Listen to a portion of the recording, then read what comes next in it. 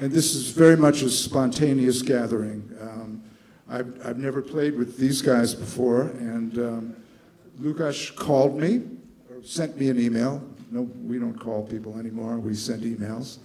And um, he said, uh, Do you want to play some music over here? And uh, I said, What makes you think I want to play music with you? No, I didn't say that, but uh, I thought it. And I, um, I went on YouTube and I looked him up and I heard what he did. And I, I said, Wow, this guy's really a great musician. And I emailed him back and said I would be honored and very pleased to play with, with you. And here we are. So.